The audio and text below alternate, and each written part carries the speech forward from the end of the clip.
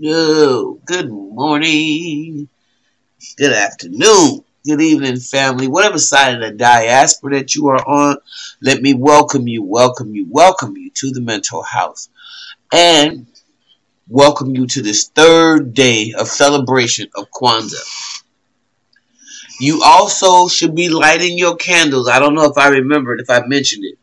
Um, you light the candles from the outside in. Okay, so we should be on the third candle. So there should be one red candle lit today, and there should be one black candle lit today. Working our way in. Right? All right. And today's principle is how many y'all know it? If you know it, let me hear it. It is Ujima. It is our collective work and responsibility. And you know, we need a lot of help in this area. Mm, mm, mm, to build and maintain our community together and to make our community problems our problems and to solve them together. Um, a good song for y'all uh, is Be Optimistic by Sounds of Blackness. One of my favorite songs, by the way. And um, thought for the day. Isabel Wilkerson the warmth of others' sun, of other suns. Okay? Over the decades, perhaps the wrong questions have been asked about the Great Migration. Perhaps it is not the question of whether the migrants brought good or ill to the cities they fled or were pushed or pulled to their destinations, but a question of how they summoned the courage to leave in the first place or how they found the will to press beyond the forces against them and the faith in a country that had rejected them for so long. By their actions, they did not dream the American dream. They willed it into being by a definition of their own choosing. They did not ask to be accepted, but declared themselves the Americans that perhaps few others recognize, but they had always been deep within their hearts.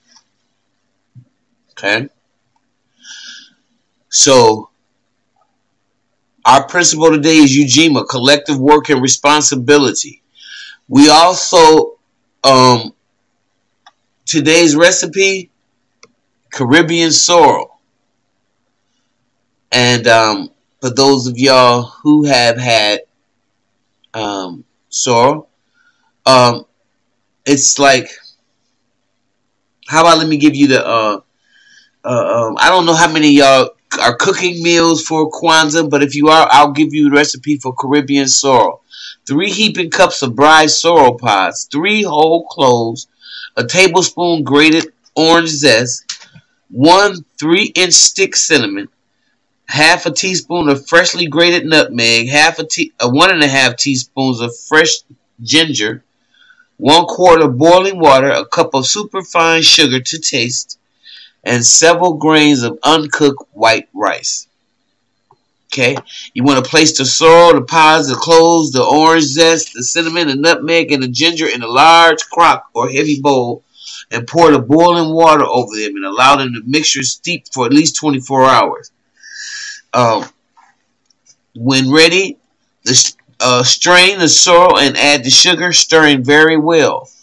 Pour the sorrel into a scalded quart jar that can be loosely capped and add the rice.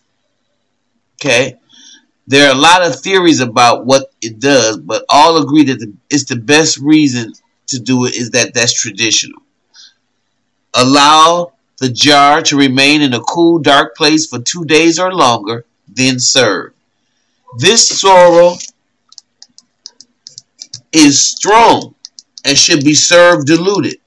Half sorrel, half water. Whether or not you choose to add rum is strictly up to you. And that again is called Caribbean sorrel. And remember, when you let when you pour the boiling water over them, you gotta allow the mixture to steep. Steep is what they call it for 24 hours. Okay? And that is our principle for today. Yes, yes, yes.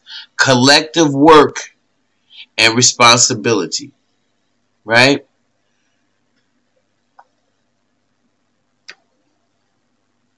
Yes, yes, yes.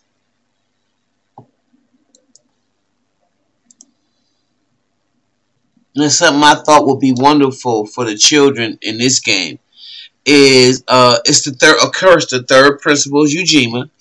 And it reminds us that helping each other and working together to solve problems is very important.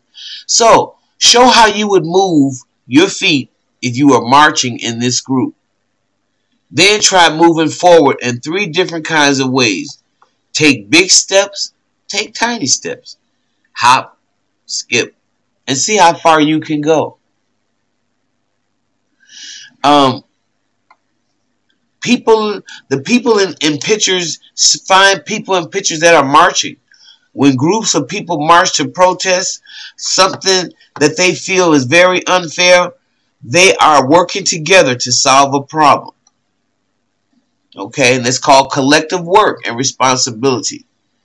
Your Ujima. All right. All right, family. And we will see you in the next on the next principle.